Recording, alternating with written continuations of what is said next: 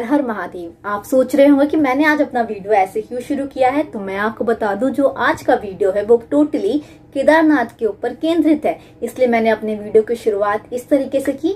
वैसे ये सब साइड में रखते हैं। This is Priya Pandey signing in so आज मैं आपको बताऊँगी कि अगर आप केदारनाथ जाना चाहते हैं तो आप अपनी प्लानिंग कैसे कर सकते हैं? आप कैसे ट्रेवल कर सकते हैं? कैसे वहाँ पर जाके रह सकते हैं? हर एक जानकारी मैं आपको इस वीडियो में दूँगी। सबसे पहले मैं आपको बता दूँ कि केदारनाथ के इस साल गेट खुलने वाले हैं 6 मई को।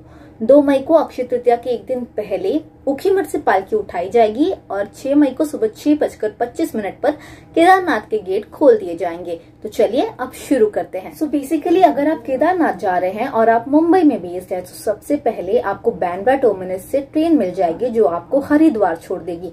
हरिद्वार जो स्टेशन है, वो बहुत ही इम्पोर्टेंट स्टेशन है, क्योंकि सोनप्रयाग जाने के लिए आपको वहाँ से बसेस मिल जाएगी। अगर आपको डायरेक्टली ट्रेन नहीं मिलती है मुंबई से या फिर कोई भी अदर पार्ट ऑफ़ इंडिया से हरिद्वार के लिए तो आप दिल्ली जा सकते हैं।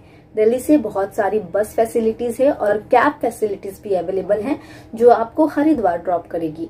अगर जब आप हरिद्वार पहुँच जाते हैं, अगर आपका ग्रुप है तो आप पहले से ही कोई गाड़ी बुक कर लें।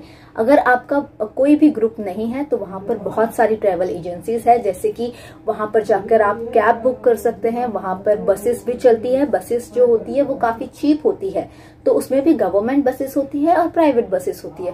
लेकिन इसमें ज़्यादा फेयर का डिफरेंस नहीं आता है। लेकिन अगर आप कैब करते हैं तो कैब के रेट दस हज़ार से लेकर बारह हज़ार रूपए सिंगल जर्नी के होते हैं। इसके अलावा जो बस के रेट होते हैं, वो five hundred to six hundred rupees per person होते हैं टिल सोन प्रयाग।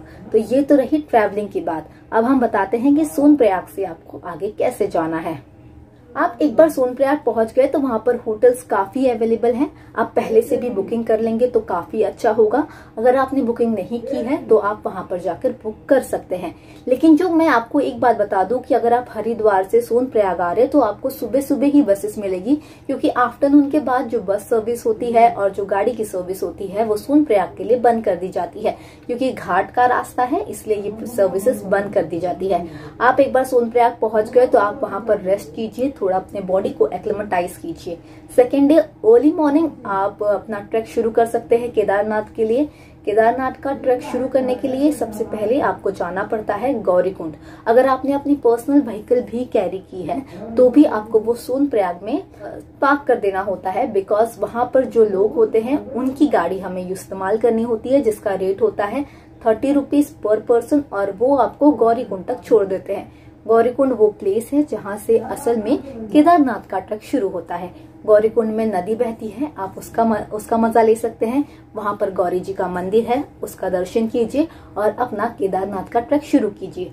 बस इतना ध्यान रखिए कि आप बहुत ही अर्ली मॉर्निंग यानी 4:35 को अपना ट्रैक शुरू कर दे ताकि इवनिंग होने के पहले केदारनाथ के कपाट बंद होते हैं हर रोज।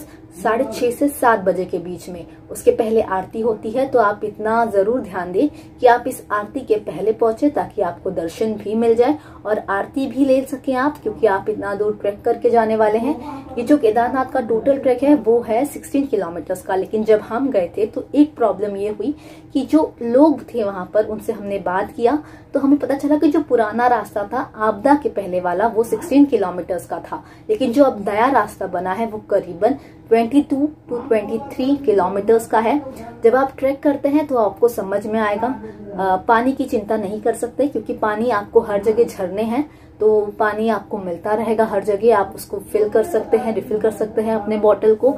इसके अलावा खाना खाना भी इतना महँगा नहीं है, क्योंकि आपको ऊपर जाके अगर सौ रुपए में भी राजमा राइस मिल रहा है तो मुझे नहीं लगता कि वो काफ़ी एक्सपेंसिव है, क्योंकि किसी की मेहनत होती है, वो पूरा नीचे से लेकर ऊपर जाते हैं।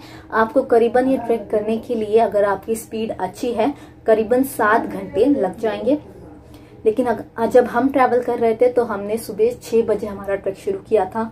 सबका इंतज़ार करते वगैरह हम पहुँच गए। रात के साढ़े सात बजे हम ऊपर पहुँचे थे।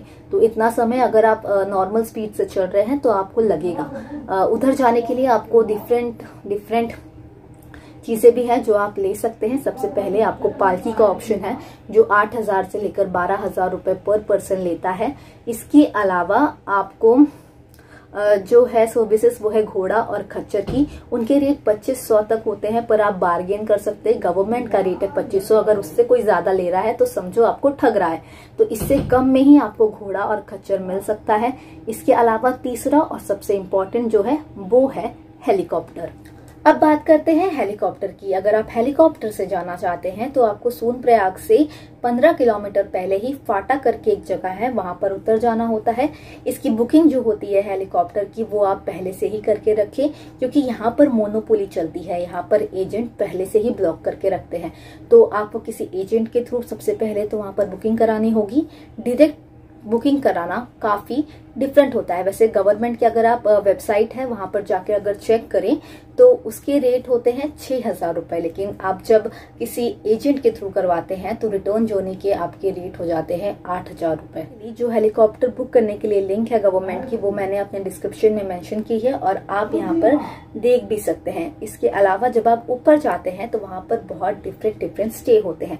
या तो आप वहाँ पर होटल्स में रहें लेकिन पीक टाइम पे होटल्स के रेट्स जो होते हैं वो काफ़ी हाई होते हैं बिकॉज़ पब्लिक बहुत ज़्यादा होती है। इसके अलावा वहाँ पर आपको डॉर्मेटरीज हैं टेंट्स है तो आप अपने चॉइसेस के हिसाब से वहाँ पर रूम ले सकते हैं, जिसके रेट्स 500 से शुरू होते हैं और लगभग चार पाँच हज़ार तक होते हैं। तो आप अपने बजट के हिसाब से वो चीज़ें बुक करें और वहाँ पर ठंडी काफ़ी ज़्यादा होती है।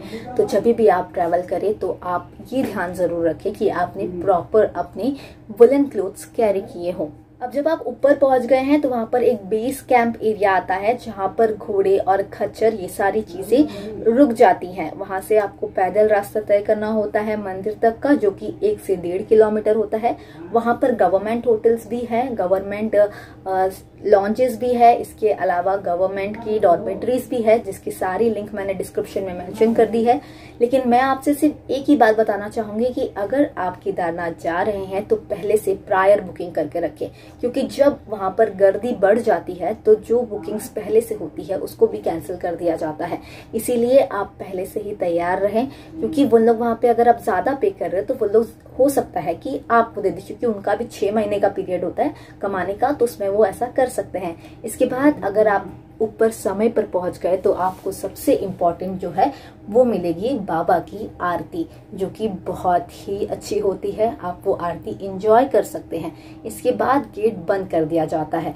उस तो आप वहाँ पर किसी, जहाँ पर भी आपने जो होटल्स लिया है, वहाँ पर आप रेस्ट कर सकते हैं। अर्ली मॉर्निंग वहाँ पर सुबह चार बजे, साढ़े तीन, चार बजे ही गेट खोल दिए जाते हैं। वहाँ पर प्रॉपर पूजा होती है। सुबह आरती नहीं होती है। सुबह सिर्फ़ पूजा होती है। उसके बाद लाइन लगना शुरू हो जाती है। तो डिपेंड करता है वहाँ पर भीड़ कैसी है, इसके हिसाब से आपका नंबर आता है। हमने सुबह दस बजे लाइन लगाई थी और हमारा नंबर दोपहर के एक बजे आया था। तो जितना जल्दी अगर आपको हो सके तो आप वहाँ पर जाके लाइन लगाएँ और फिर आपको दर्शन बहुत ही अच्छे से मिल जाएगा।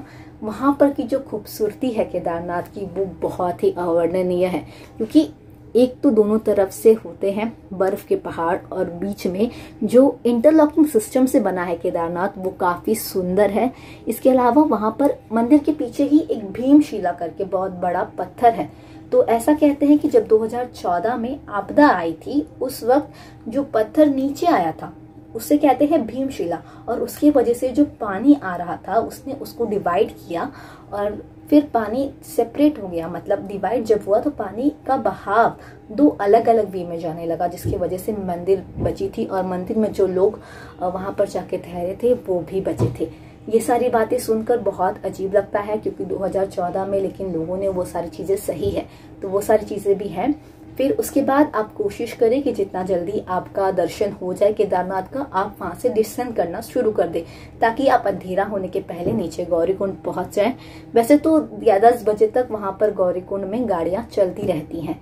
इसके अलावा जब आप ऊपर जा रहे हैं और आपके पास समय ज़्यादा है तो वहाँ पर एक से डेढ़ किलोमीटर की दूर पर ही भैरवनाथ का मंदिर है, उसका दर्शन कर सकते हैं।